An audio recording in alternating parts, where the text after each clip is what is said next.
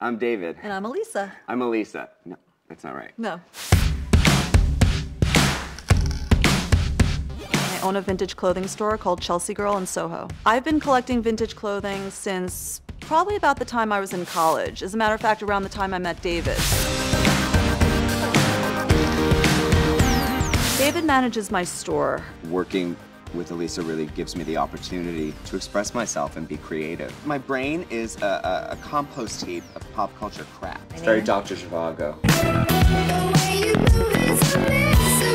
David and I met when we were 18. We were freshmen at NYU. I realized when I got to college that I didn't want to sort of be wearing the same things that everybody else was wearing. I kind of call myself a fashion rebel. I don't ever look at fashion magazines. People at fashion magazines are coming to me for ideas. I look at the street.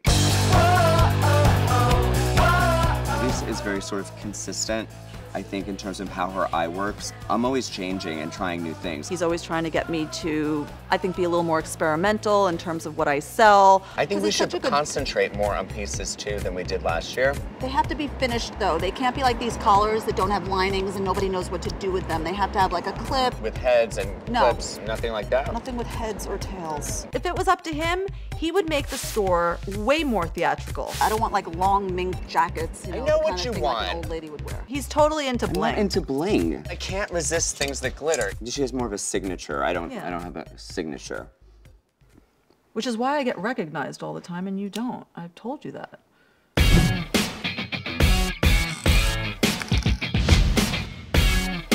The number one question that customers ask us, which is incredibly annoying, Annoying. very annoying, is where, do you get, your this? stuff? Right. We go to flea markets. Estate sale, We go to Salvation Armies. go out on the road, antique show, Auctions. garage sale. We have pickers that come to the store. We rummage through barns, attics. Someone passes away, they often will sell a whole collection. I mean, we're not ambulance chasers per se. Each piece is handpicked. This one's very unusual because it's a metallic yarn. One of the reasons that people really love vintage clothing is is that it seems to come with a story and it's lived before. Each piece came from a different family, a different part of the country.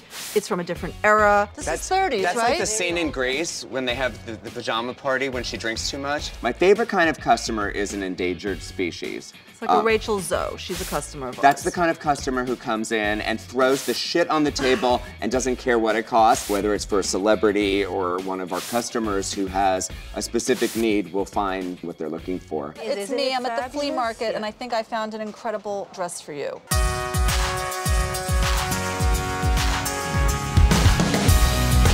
Every weekend, we go to the flea market. What's left of it? Remember when we used to go to the flea market here, and it was like all open air and Yeah, before they built this corridor of hell and Giuliani sold the city out to developers. Vintage clothing tends to attract big characters.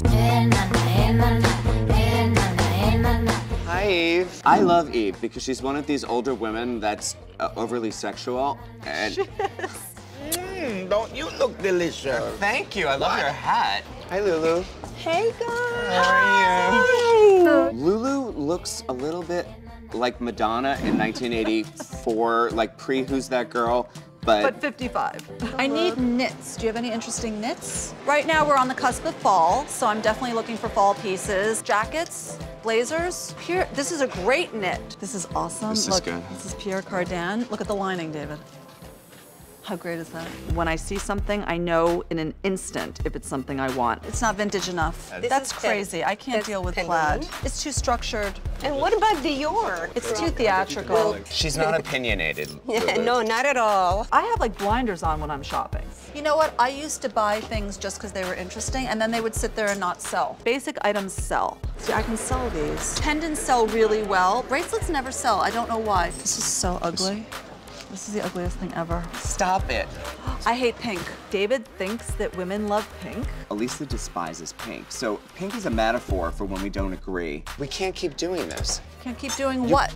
You gotta buy stuff for the store. We fight. We bicker. We, We don't bicker. fight. We bicker. This is way too expensive unless she does better on the price. Well, give her a chance. I mean, what am I? It's a little, it's a belt. 55 for the. Um, Okay, and this the one's for lace. me. So what can you do for me? for you, it would be even more. right. I get- I love that. I'll never stop with the pink. Gonna leave this city, got to get Another way that we acquire merchandise is doing a house call. It's important for us to get out of the city. And the discomfort of leaving the city is part of the fun. So you didn't get these directions from Lee. You got them off the internet? Yeah. Okay, fine. You take this to, um. We're past that already. East? It has to be east. say. It says take exit 4 toward Cross County Parkway. That was not You my print- fault. Google Maps. You know what? It was not my fault. This is the cross county, David. I didn't tell you to get off. This is the cross county. I think Google fucked up. I can blame Google Maps or David. Just give me the beat. That's all I need. Good to see you. I love to talk about Lee. She's one of my favorite people that we deal with regularly. And she's such a character. We just love her. I cleared this off that I would put some plastic there. Sure. Okay. Lee's very Lee- clean. Lee's home. I want to stress that. Clean is not the word I would use. It was She impeccable, really meticulous. anal. That's gorgeous. Look at this. Is that exciting? I'm excited. So one of the things that Lee kind of specializes in is Pucci, Emilio Pucci, who was a designer from the 1960s, known for his very wild, colorful prints. This fabric had to be cut, so the hem was cut on the actual border of the of the fabric. That's very expensive to do. They don't do that kind of thing anymore. The other thing that she brought out was a collection of moon bags. They're consistent sellers for us. It was just this artist in the 80s, Patricia Smith, um, who created uh, like 200 different varieties of these bags. A lot of them were, you know, hand painted on these panels and then laminated. So I think that's it. The Pucci pieces, the moon bags, and Scarves. Okay. feel free to call me anytime.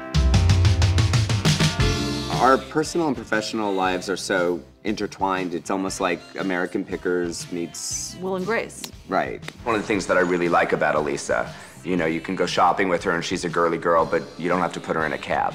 Taxi! What the fuck? We work, we play, we complain. We bicker. We're going to Starbucks. There's a Starbucks on the corner. Ooh, I can't pee in a Starbucks. Why? Because people shoot up in there. I don't go. What I are you don't. talking about? We're big picks. Bicker pickers. We're quicker picker uppers. What's so funny? You know, I've outlasted the husband, I've outlasted the boyfriend, she's outlasted my boyfriends. I mean, this is the enduring relationship. She's my straight man, it's awesome.